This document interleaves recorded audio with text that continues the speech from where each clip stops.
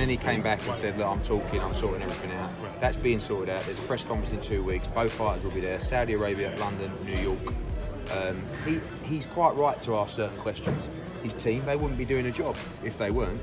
All those questions have been satisfied. You'll hear from Andy Ruiz in the next day or so about the fight. Um, and he wanted it on neutral. T- you know, he didn't want to come to the UK. So you can't moan about not coming to the UK. Then you get a neutral venue and moan about a neutral venue. He was given an opportunity from the gods, and he pulled off a victory from the gods, which he deserves. Be a man, honour the contract.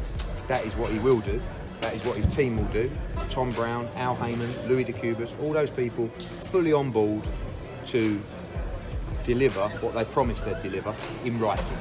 Does it by go? law. Does it go to litigation if it doesn't go to Saudi Arabia if he doesn't accept Yeah, absolutely. Yeah, but everybody knows that. I mean, that's a standard procedure. If you break a contract, you know, then but then he'll lose. You know, once you're in a litigation process, you'll lose your belts. If Ruiz loses, So- we expect a third fight? Yeah, I think I think if Andy Andy Ruiz was to But lose, there's no rematch. no rematch clause. No.